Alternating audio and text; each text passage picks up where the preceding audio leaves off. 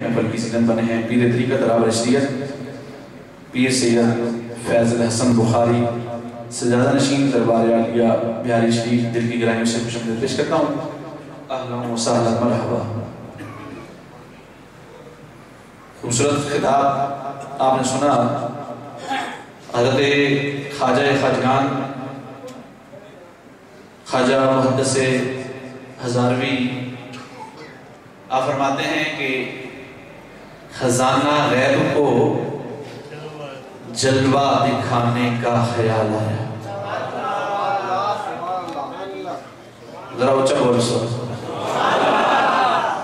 خزانہ غیب کو جلوہ دکھانے کا خیال آیا۔ محمد مصطفیٰ شیشہ بنانے کا خیال۔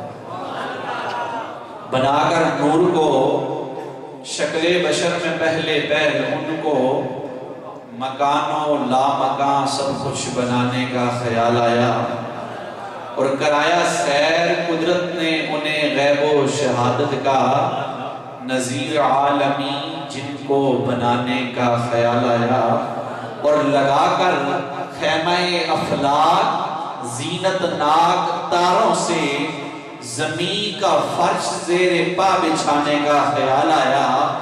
جہالت اور باطل کی گٹاؤں میں زمانہ تھا۔ انہیں پیام حق سب کو سنانے کا خیال آیا۔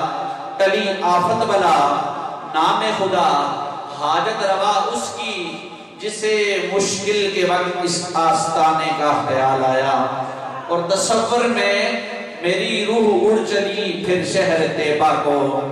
در اقدس پہ جب بگڑی بنانے کا خیال آیا، امام الانبیاء محراب طاعت ہیں شب اسرا، یہ کس کی اقتداء میں سر جھکانے کا خیال آیا اور دنا سے آگے لے جا کر جو پیارے کی رضا پوچھی، تو ان کو اپنی امت بخشوانے کا خیال آیا اور مقام مصطفیٰ، اللہ اکبر کتنا عالی ہے جہاں پہ دشمن کو بھی رستہ دکھانے کا خیال آیا، زہیر، لطف و کرم محمود ہے سکلین کی کشتی، جہاں پہ قافلہ کے ڈوب جانے کا خیال آیا۔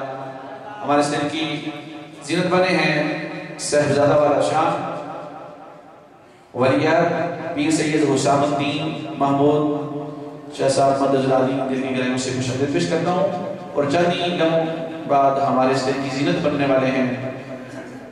عظیم خطیب کئی طرحوں مصنف، عظیم قاری، علامہ قاری، ظہور احمد فیضی صاحب، وہ بھی چند لمحوں بعد ہمارے سٹیج کی زینت بننے والے ہیں۔ اور لاہور سے ہمارے سنمان تشریف لائے ہوئے شہباز علی قادری محمودی صاحب سے میں مقدمے سے مسٹیج پر آئیں۔